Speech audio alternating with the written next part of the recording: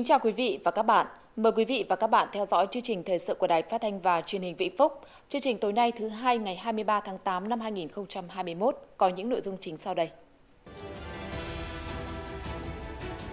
Ban Thường vụ tỉnh ủy họp cho ý kiến vào một số nội dung quan trọng.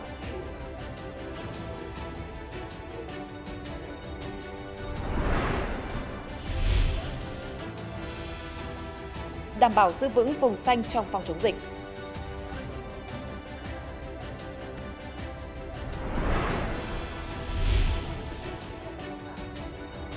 Những lớp học không đồng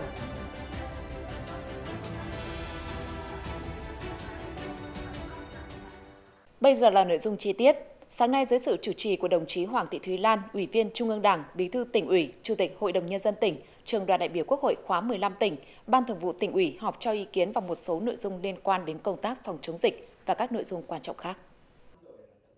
Tại cuộc họp, Ban Thường vụ tỉnh ủy đã dành nhiều thời gian cho ý kiến về kế hoạch đầu tư mua sắm trang thiết bị, vật tư y tế cho bệnh viện giã chiến cấp tỉnh với quy mô 500 đến 1.000 giường, cơ sở điều trị, khu cách ly tập trung cấp huyện, Ban Thường vụ tỉnh ủy đã cho ý kiến và báo cáo kết quả kiểm tra công tác phòng chống dịch COVID-19 theo quyết định số 274 ngày 6 tháng 8 năm 2021 của Ban Thường vụ tỉnh ủy về kiểm tra công tác lãnh đạo, chỉ đạo và tổ chức thực hiện nhiệm vụ phòng chống dịch COVID-19 đối với các huyện ủy, thành ủy. Kế hoạch bố trí huy động lực lượng của ngành y tế và lực lượng khác cho bệnh viện giáp chiến tỉnh, cơ sở cách ly tập trung và cơ sở điều trị COVID-19 cấp huyện. Trên cơ sở kết quả các đoàn kiểm tra của Ban Thường vụ tỉnh ủy, thực hiện quyết định của Ban Thường vụ tỉnh ủy về việc kiểm tra công tác lãnh đạo, chỉ đạo và tổ chức thực hiện nhiệm vụ phòng chống dịch COVID-19 đối với Ban Thường vụ các huyện, thành ủy. Một số đồng chí Ban Thường vụ cho rằng các địa phương đã chủ động thực hiện tốt các văn bản chỉ đạo của các cấp trên về phòng chống dịch COVID-19. Tuy nhiên, tính dự báo để có kịch bản chủ động ứng phó với yêu cầu và mức độ cao hơn thì chưa kịp thời. Đặc biệt là các trang thiết bị vật tư y tế chưa nhiều, chủ yếu vẫn nhờ vào nguồn lực y tế hiện có các đồng chí ủy viên Ban Thường vụ tỉnh ủy cho rằng trên cơ sở nghị quyết của chính phủ, của Hội đồng nhân dân tỉnh và kịch bản chống dịch đã được phê duyệt, Ủy ban nhân dân tỉnh cần chủ động hơn trong việc tính toán nguồn kinh phí đầu tư mua sắm trang thiết bị y tế, sẵn sàng cho công tác phòng chống dịch, kiên quyết không để dịch xâm nhập vào địa bàn tỉnh. Bí thư tỉnh ủy Hoàng Thị Thúy Lan cho rằng, trước yêu cầu về công tác chống dịch, buộc chúng ta phải có sự chuẩn bị kỹ lưỡng, chống dịch không phải chỉ bằng mệnh lệnh, bằng khẩu hiệu, bằng nghị quyết, mà phải có phương tiện, đặc biệt là cơ sở vật chất. Tình hình dịch bệnh ở thành phố Hồ Chí Minh và các tỉnh phía Nam đang diễn biến rất phức tạp. Vĩnh Phúc là địa phương rất gần Hà Nội, do đó chúng ta phải có sự chuẩn bị cơ sở vật chất tốt nhất để chủ động trong mọi tình huống. Thay mặt Ban Thường vụ tỉnh ủy, Bí thư tỉnh ủy Hoàng Thị Thúy Lan đề nghị Ủy ban nhân dân tỉnh phải phê duyệt kế hoạch và có tờ trình cụ thể chi tiết báo cáo xin ý kiến Ban Thường vụ tỉnh ủy về mua sắm máy móc, trang thiết bị vật tư y tế thiết yếu để chủ động phòng chống dịch vì mục tiêu sức khỏe của người dân cho ý kiến và báo cáo của Ban Cán sự Đảng Ủy ban Nhân dân tỉnh về công tác quản lý và xử lý các vi phạm đất đai dọc hai bên các tuyến đường giao thông chính theo yêu cầu của Ban Thường vụ tỉnh ủy. Các đồng chí ủy viên Ban Thường vụ tỉnh ủy cho rằng nhiều dự án dọc hai bên tuyến đường giao thông chính chậm tiến độ, hiệu quả đầu tư thấp, chủ yếu là các dự án dịch vụ thương mại nhỏ lẻ, manh muốn. Nguyên nhân là công tác giải phóng mặt bằng chậm, năng lực nhà đầu tư hạn chế, công tác quản lý nhà nước về đất đai của chính quyền địa phương còn lòng lẻo, từ thực trạng đó, một số đồng chí ủy viên Ban Thường vụ tỉnh ủy đề nghị Ủy ban nhân dân tỉnh ra soát đánh giá rõ hiệu quả sử dụng đất, đồng thời phân loại có lộ trình cụ thể kiên quyết xử lý các dự án vi phạm về đất đai, thu hồi các dự án chậm triển khai, các dự án sử dụng đất không đúng mục đích, không đúng với cam kết đầu tư. Thay mặt Ban Thường vụ tỉnh ủy, Bí thư tỉnh ủy Hoàng Thị Thúy Lan nhấn mạnh, với quan điểm không thu hút đầu tư bằng mọi giá, Ban Thường vụ tỉnh ủy giao Ban cán sự Đảng ủy ban nhân dân tỉnh đánh giá lại tất cả các dự án đã cho chủ trương đầu tư, các dự án đã giao đất hoặc chưa được giao đất nhưng có nhiều vi phạm chưa được xử lý để có phương án xử lý cụ thể đối với từng dự án ở từng nhóm. Ủy ban nhân dân tỉnh chịu trách nhiệm chỉ đạo giải quyết, thu hồi theo thẩm quyền, chưa mở rộng xem xét giải quyết cho các dự án mới, trừ trường hợp đặc biệt nếu có những dự án quan trọng thực sự cần thiết, có tác động lan tỏa khả thi, hiệu quả, có năng lực thực sự thì yêu cầu Ban cán sự Đảng ủy ban nhân dân tỉnh báo cáo với Ban Thường vụ tỉnh ủy, còn lại phải khép lại để giải quyết những dự án còn đang tồn tại ra soát lại quỹ đất hai bên toàn bộ các tuyến đường quốc lộ, tỉnh lộ, giao thông đô thị và các tuyến đường mới đầu tư để xác định các tuyến đã được quy hoạch, các tuyến chưa quy hoạch và yêu cầu Ủy ban nhân dân tỉnh báo cáo đề xuất với Ban Thường vụ tỉnh ủy để có định hướng. Ban Thường vụ tỉnh ủy yêu cầu chưa công khai quy hoạch thì không giới thiệu địa điểm, không giao đất, không chuyển mục đích sử dụng đất ở hai bên đường khi chưa có quy hoạch.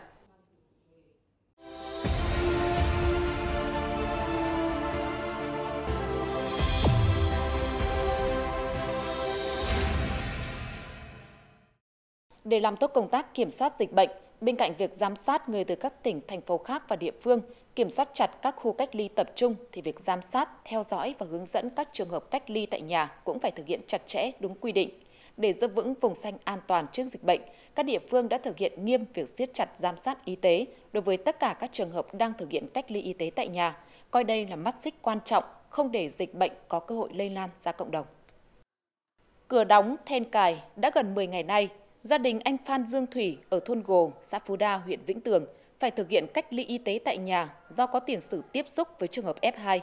Được tuyên truyền từ trước đó, anh đã thực hiện khai báo y tế ngay khi trở về địa phương và thực hiện nghiêm việc tự cách ly tại nhà theo yêu cầu. Tôi mong làm sao là để cho dịch bệnh khỏi lây lan ra cộng đồng.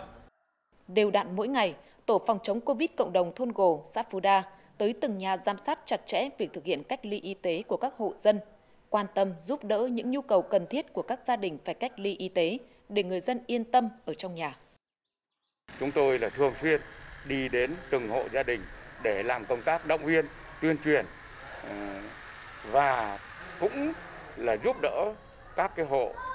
mà có khó khăn hoặc thiếu thốn cái vấn đề gì thì chúng tôi cũng tạo mọi điều kiện để giúp đỡ cho các hộ phải cách ly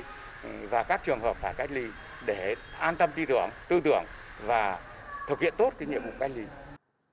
Cùng với công tác giám sát trường hợp cách ly tại nhà, công tác tuyên truyền, vận động cũng được phát huy tốt tới từng hộ gia đình, đặc biệt là gia đình có người thân đang sinh sống và làm việc tại thành phố Hồ Chí Minh và các tỉnh phía Nam. Vận động con em ai ở đâu ở yên đó trong thời điểm này để bảo vệ an toàn cho bản thân và cộng đồng.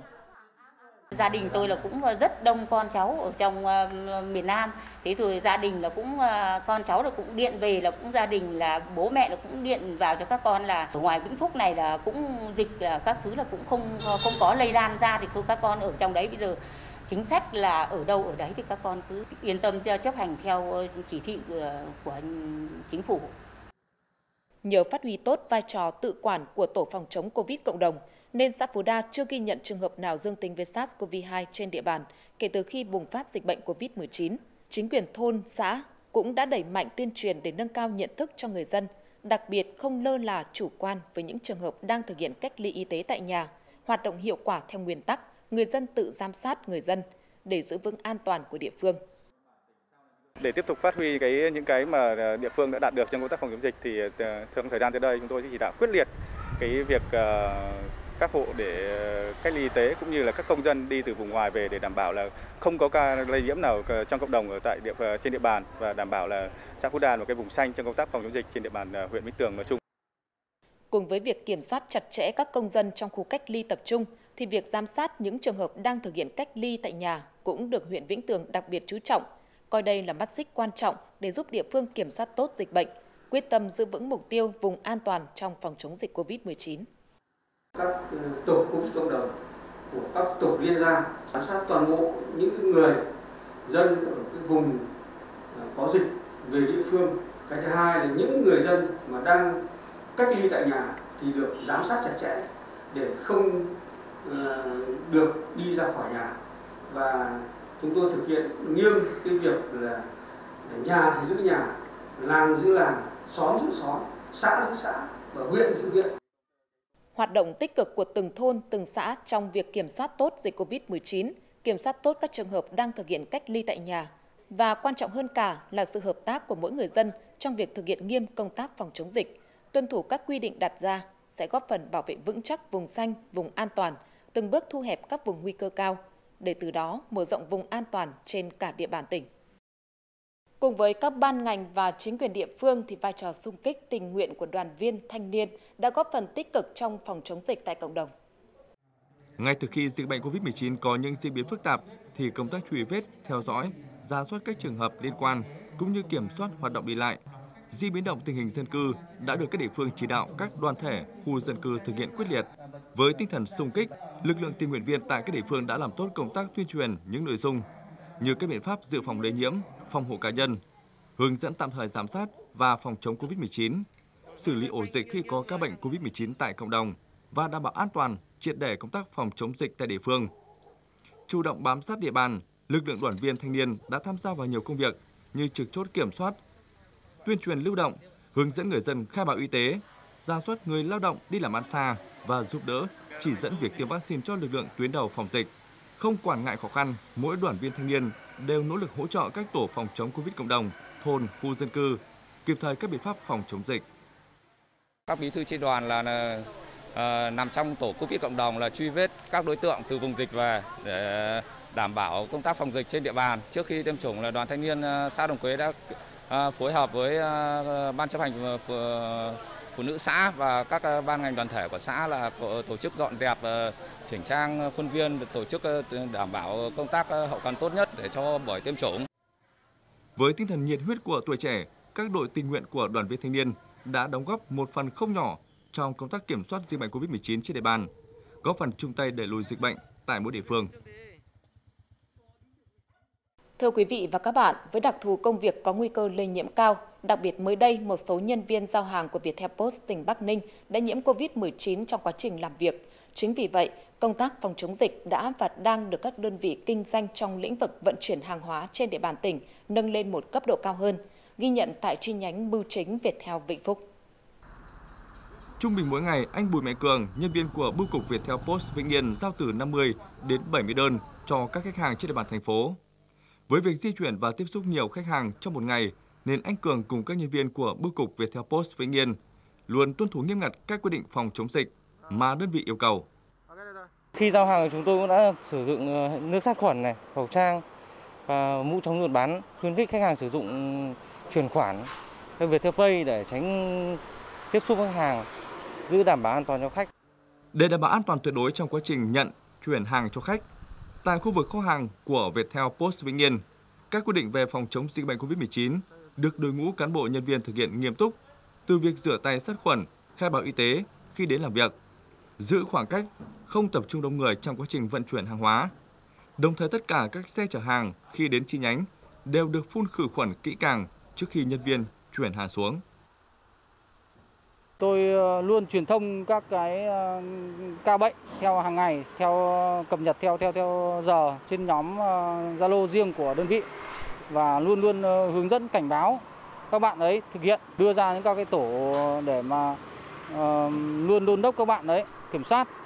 ngoài các uh, hướng dẫn thì chúng tôi còn phải kiểm soát các bạn đấy uh, ờ, trong công tác uh, thường xuyên uh, làm các nhiệm vụ an toàn mùa dịch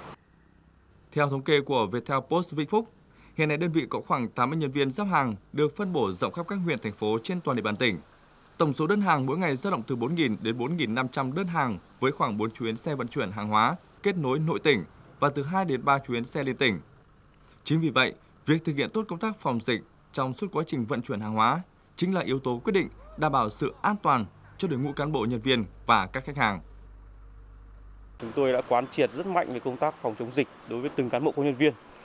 Đấy, thường xuyên là thực hiện là kiểm tra đột xuất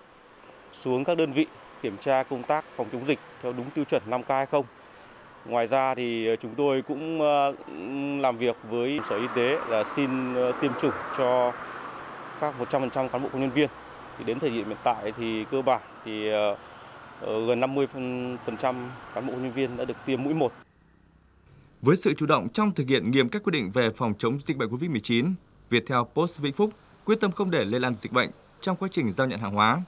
đồng thời tiếp tục đảm bảo việc lưu thông hàng hóa, phục vụ tốt nhu cầu của người dân, doanh nghiệp trên địa bàn. Thưa quý vị và các bạn, hôm nay Vĩnh Phúc không ghi nhận trường hợp nào dương tính với SARS-CoV-2. Tính từ ngày 31 tháng 7 năm 2021 đến nay, đã qua 23 ngày trên địa bàn tỉnh không ghi nhận ca mắc trong cộng đồng. Trong ngày có thêm 9 bệnh nhân được công bố khỏi bệnh, nâng tổng số bệnh nhân được điều trị khỏi bệnh xuất viện lên 170 trường hợp trên tổng số 234 bệnh nhân. Số trường hợp F0, 0, tổng số trường hợp đang giám sát y tế 75.465 trường hợp, số trường hợp F1 hiện đang cách ly 105 trường hợp. Ban chỉ đạo phòng chống dịch bệnh COVID-19 tỉnh yêu cầu người dân Vĩnh Phúc thực hiện nghiêm khuyến cáo 5K của Bộ Y tế, gồm khẩu trang, khử khuẩn, khoảng cách, không tụ tập, khai báo y tế, và thông điệp 5K và 5T của Ban chỉ đạo phòng chống dịch COVID-19 tỉnh.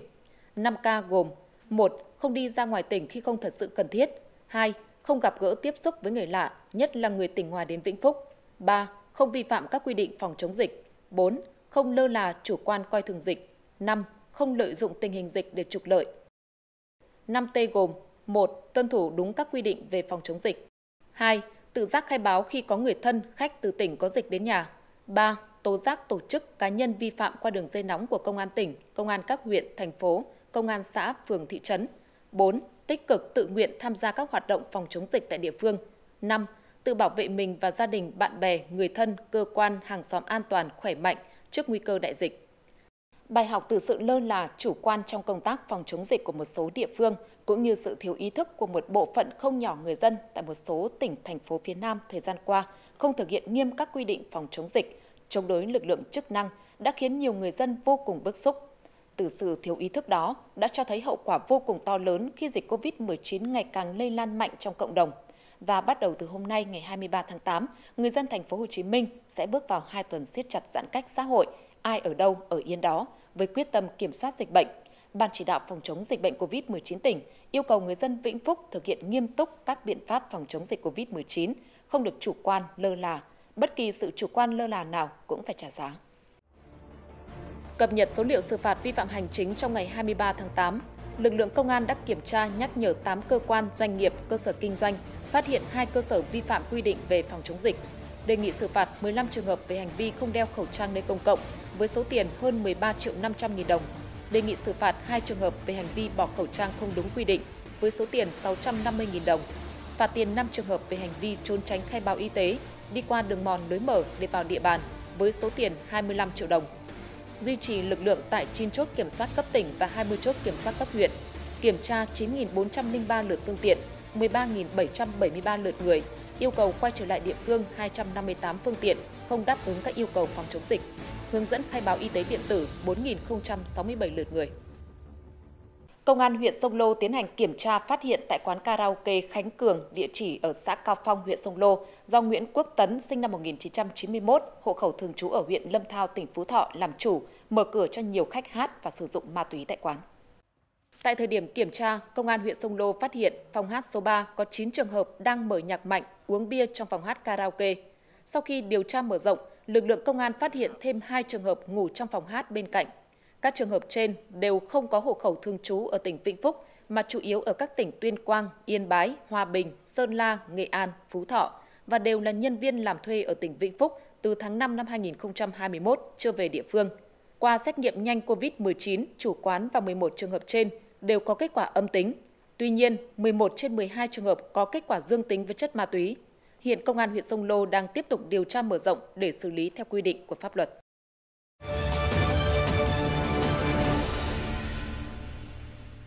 Những lớp học online với mục tiêu kép vừa đảm bảo phòng chống dịch vừa giúp học sinh ôn tập, củng cố kiến thức lại không phải trả tiền, được cô giáo Nguyễn Thị Hoàng Yến, trường Trung học cơ sở Lập Thạch mở dạy từ nhiều tháng qua. Lớp học trên tinh thần tự nguyện thu hút rất đông học sinh tham gia. Các em đều chung một niềm say mê với những lớp học của cô Yến. Cô chào cả lớp. Sau một tuần cô đã giao bài tập về nhà, các bạn đã làm xong chưa? Buổi học hôm nay cô sẽ tiếp tục hướng dẫn chúng ta ôn tập bài cũ này và tổ chức luyện đề cho chúng ta sau một thời gian chúng ta ôn về lý thuyết. Tất cả chúng ta mở vở ra và ghi bài nào. Hôm nay chúng ta sẽ học tiết đó là luyện tập tổng hợp. Vẫn với phấn trắng bảng đen nhưng là trên bục giảng ngay tại nhà, Hình ảnh người giáo viên giản dị, nghiêm trang, tận tụy vẫn lên lớp đều đặn như thế để giảng dạy trực tuyến cho học sinh trong thời gian nghỉ hè. Vừa bận bịu với lịch học cao học, lại chu toàn cho những công việc của gia đình. Thế nhưng cô Yến luôn sắp xếp thời gian cố gắng duy trì các lớp học trực tuyến ở cả 4 khối, từ lớp 6 đến lớp 9.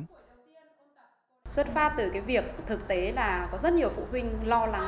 vì việc con em mình không ờ, có chỗ để học rồi là suốt ngày chỉ ờ, xem tivi và xem điện tử cho nên là xuất phát từ cái thực tế đó thì tôi ờ, đã mở những cái lớp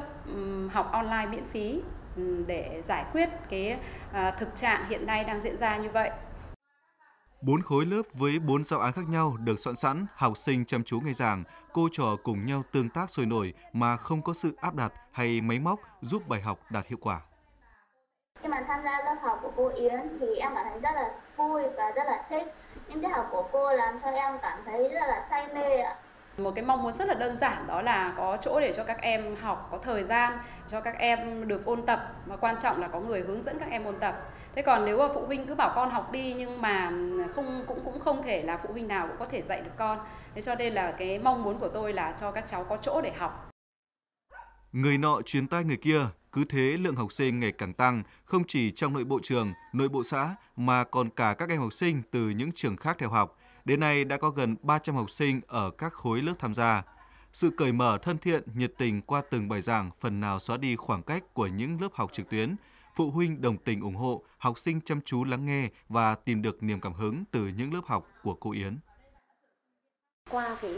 cái việc mà quan sát con học thì tôi nhận thấy là lớp học của cô giáo Yến thì rất là đông.